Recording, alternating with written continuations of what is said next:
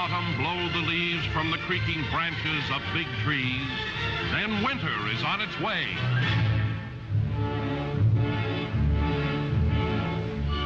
Many, many years ago, there lived in a faraway country named Greece a soldier, Artemis, and his little boy, Plino. One day, Artemis took Plino on a hunting trip. When nightfall came, they were far from home. It was warm. Plino and his father found a haystack, and there they went to sleep. Later, Plino awoke. It was black and cold. He reached out to touch his father, but Artemis was gone. Plino heard something moving in the dark. Then he recognized the steps.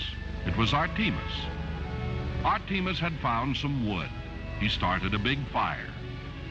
Lad, he said to Plino, we've been caught by winter. Plino moved close to the fire. He thought for a moment. Then he asked, Why, father, is it not always summer? Well, Artemis said, I'm not sure I know exactly, but there's an old story. Get in closer to the fire and I'll tell you.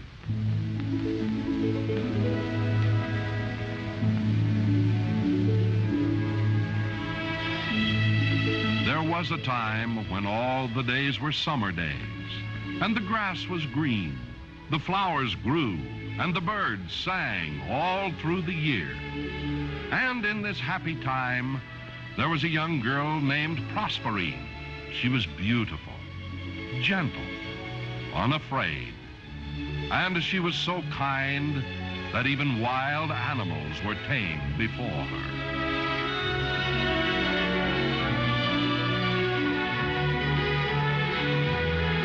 One day, Proserpine wandered far from her home into a strange valley.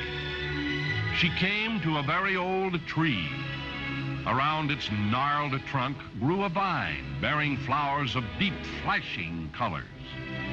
Proserpine picked some. They were hard to carry, so she took off her cloak and dropped the flowers in it. She was so busy with what she was doing, she did not hear the soft sounds of a huge man who moved quickly, quietly behind her. Then for a second, it seemed to Proserpine that the valley was more quiet than silence itself. She turned. There was a man, tall and broad as a door. His hair was dark.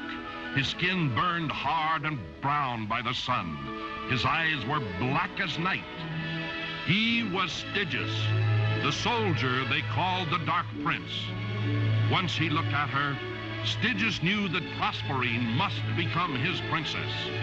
Throwing his tunic over her, the huge Stygius slung her on his shoulder like a sack and ran through the valley to his hidden castle in the caves. So quickly did the dark warrior move that Proserpine had not time to cry out, but only to hold tightly to the strange flowers in her hand.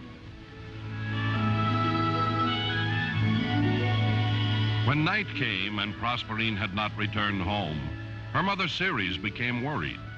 She threw on her cloak, took a lantern, and went out in search of her daughter. Morning came. Ceres found herself in a strange valley near a very old tree. There on the ground was Proserpine's cloak with beautiful flowers laid carefully upon it. But Proserpine was gone. Ceres wept for her lost daughter, and as her tears fell to the ground, she cried, May the earth be cursed and cold. May no flower, leaf, or blade of grass be green again until Proserpine returns to me. And the sun was low in the sky. The land grew cold and no flower bloomed.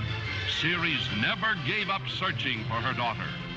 One day she stopped before a brook that came from under the big caves nearby. Looking down into the stream, Ceres saw flowers of deep flashing colors, like those from the strange valley. Ceres whispered, If Proserpine be returned to me, then shall the earth be green again. Finding an entrance to the caves, Ceres quietly crept along the cavern walls. Far in the distance below, she could see the dim lights of the castle in the caves. Her foot touched a loose stone. Before she knew it, Stygius warriors were at the bottom of the cliff climbing up after her. Ceres called, Bring Stygius to the bottom of the cliff, for I, Ceres, mother of Proserpine, would speak with him. Stygius came quickly, bringing Proserpine. Ceres called, Stygius, free Proserpine, or I will hurl myself off this cliff, and Proserpine shall die after me. The black eyes of the Dark Prince glowered. He did not know what to do. Finally, he said in his rumbling voice, Half the year Proserpine may be with you, Ceres, but half the year she must be with me. Ceres looked down and saw the pale, beautiful face of her daughter Proserpine.